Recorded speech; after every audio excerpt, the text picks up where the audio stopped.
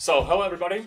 Uh, my name is Lukáš Zářecký. I'm a member of BASA team, and I would like to share with you some basic technical information about the Salesforce uh, process automation. So, uh, a few months ago, uh, you heard some basics uh, from Tomáš Jelínek about the Salesforce. So you may already know about what is a Salesforce. That Salesforce is the leader in a cloud-based CRM platform you know that Salesforce is not just only CRM, it's a platform because you can build your own applications with uh, your own processes without link to the customer. So it's not CRM, it's a platform. And you know that Salesforce has a few categories like Sales Cloud, Service Cloud, Marketing Cloud, Community Cloud, Analytics Cloud, and the newest one is Internet of Things Cloud. It's a lot of cloud in Salesforce. And you get some, from, from Thomas, you get uh, some basic information about licensing. You can buy only one license, and you will get the whole instance Salesforce. It's a, it's a perfect, I think. And you get a lot of information about the business process in uh, Yacht Charter Company. So this is the reason why I want to tell you more about the process automation in Salesforce. In Salesforce, there are the few ways how to automate the process. One of them is the process builder. I will talk more about this feature. Second one is very complex, it's a visual workflow. Third is workflow. And the last but not least is approvals.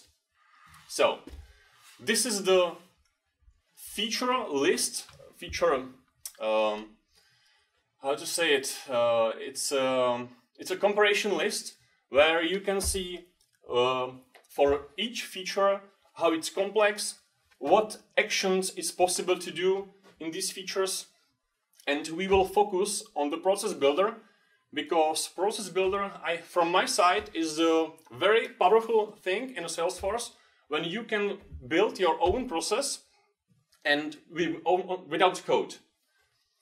So, what is Process Builder? It's a feature where you can build your process by the graphical representation of this process. And it consists with criteria to determine when to fire the action and of course actions. Immediate actions and uh, the scheduled actions. And there is the list of actions in uh, Process Builder. I can fire the Apex code I can create the record, I can send an email, I can fire the flow, I can predefine the lot of flows and then only to fire them. It saves a lot of time. I can post to Chatter. Chatter is the internal Salesforce communication tool. I can I can fire some quick action which I can predefine them before I can send the submit for approval and update record or child record of the object. So this is the interface of the process builder. Of course, on the top is some button bar, and what is the main is Canvas. Canvas is the name of the environment where we need to set on which object we will evaluate the criterias, and then which actions, immediate actions or scheduled actions we will fire. And on the right side is the example, uh, the criteria entry for, I think it's for the, for the rules. Yeah, so now I will switch to the example. I hope it will work.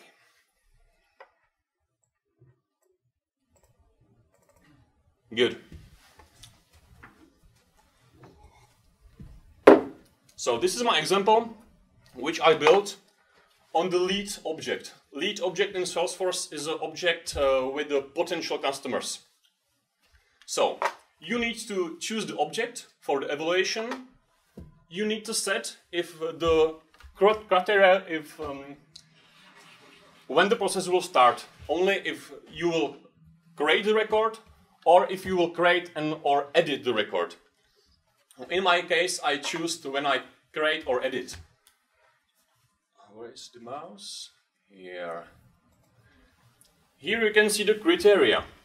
You can set a lot of, lot of combinations of criteria when you want to fire the action or scheduled action.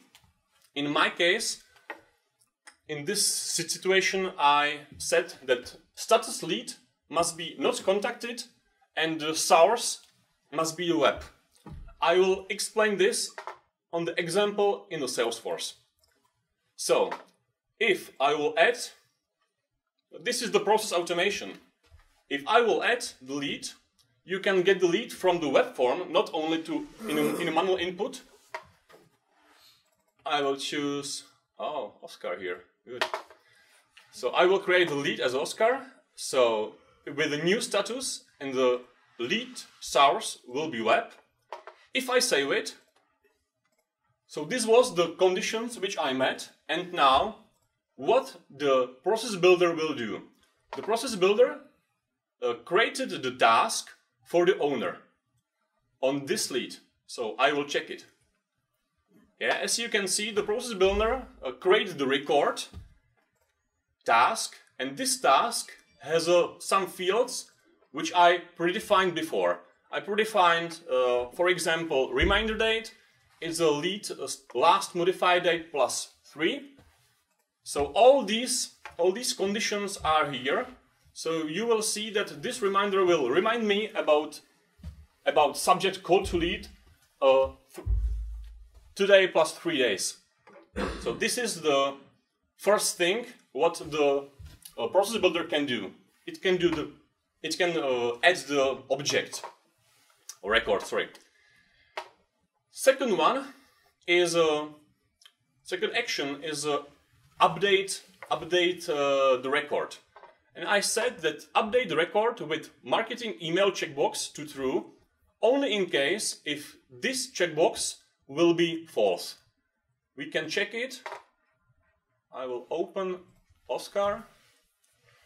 And as you can see, the email opt-out is a false and the system updated this field to true. And of course, after that, you can evaluate this field and send this field, send this uh, lead, uh, for example, marketing emails, if this lead has this uh, field marked as true. So this was the update field. The second action, what can uh, the process builder do is send an email. This one is contact or email to owner about the new lead. So if I'm owner, if I'm owner of lead, I will receive here. It's refresh work here.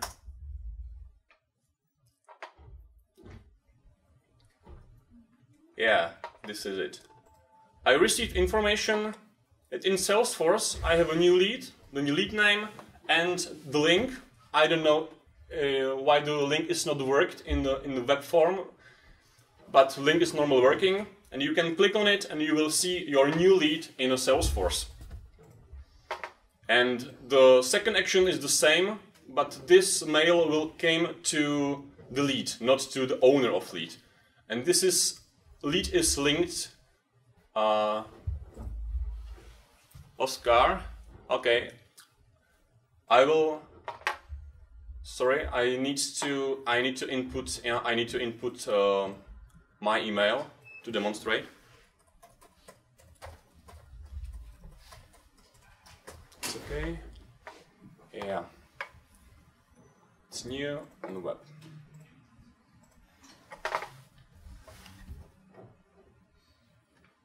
So, I will receive in a few seconds a mail from, from Salesforce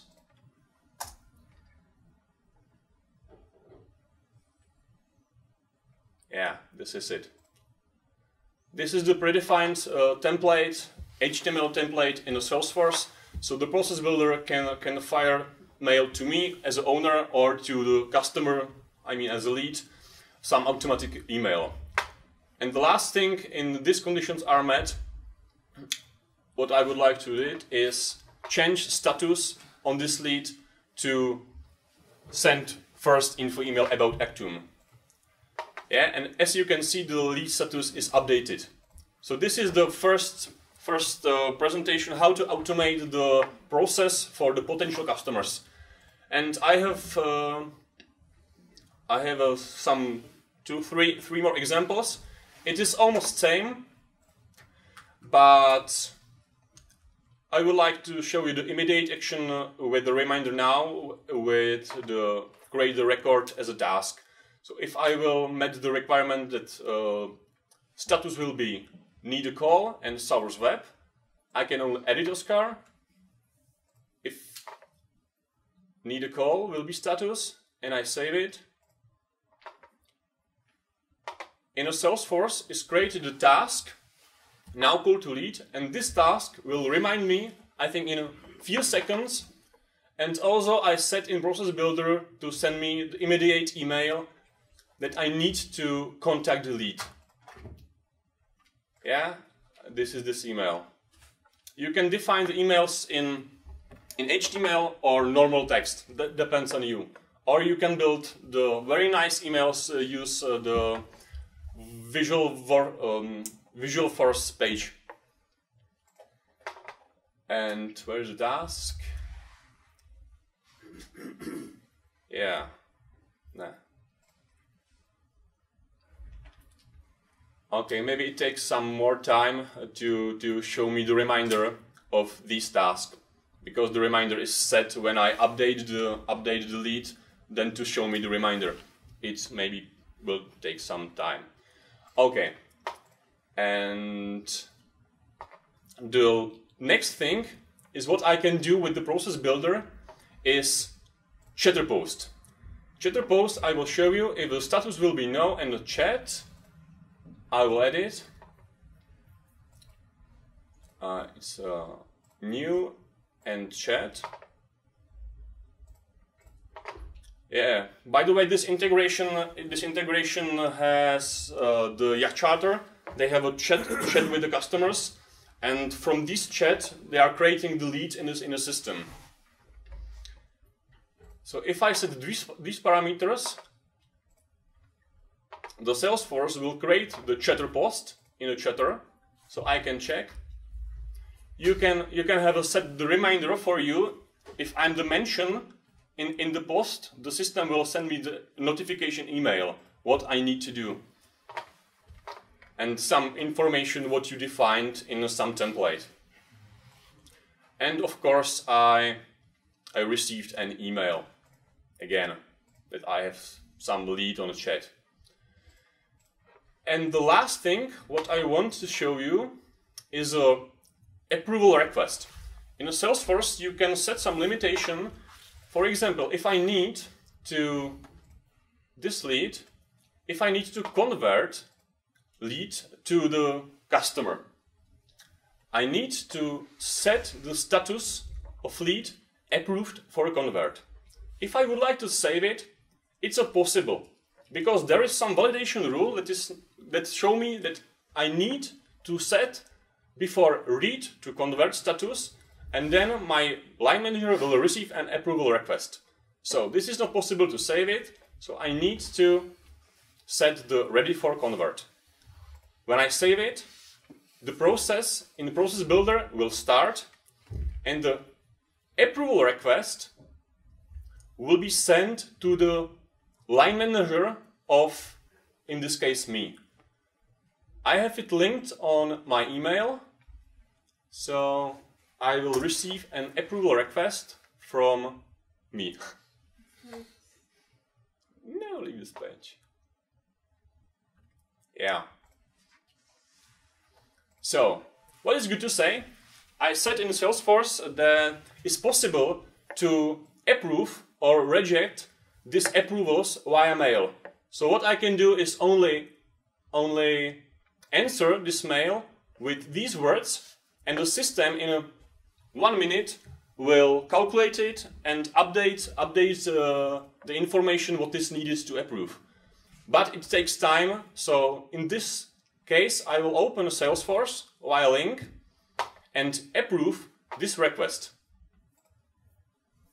Of course, you can modify you can modify the email template and you can modify what you will see uh, with the information in Salesforce. Yeah, as you can see, I approved this request and this lead is approved for convert and now I can convert the lead uh, to the customer and account. And this is end. Thank you.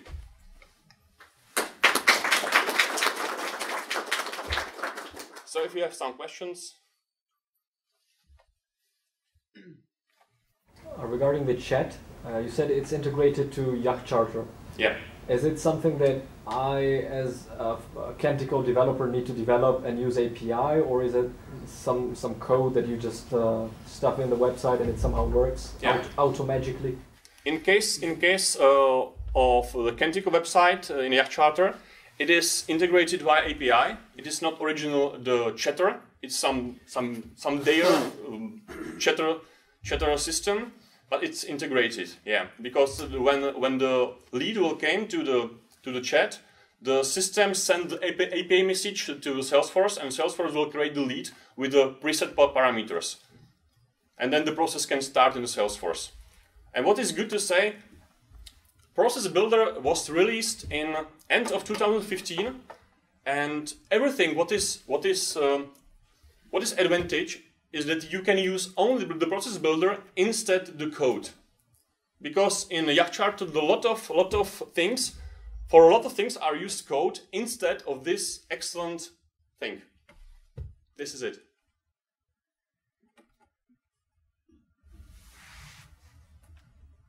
Some next questions? Okay, thank you.